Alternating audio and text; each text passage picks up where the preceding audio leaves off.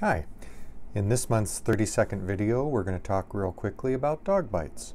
In Washington state, there's a no free bite law. That means that if a dog bites you, the owner is automatically liable. It's a little more complicated than that, but that is the gist of it. In addition, a dog owner might be liable for the actions of its dog in terms of whether or not the owner took appropriate precautions and also due to whatever it is the owner knew beforehand about the propensities of the dog to bite, to run away, or to attack and knock somebody down.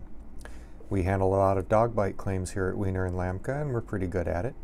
Consultations are free. Please give us a call if you've been in this situation and see if we can't help you out. Thank you.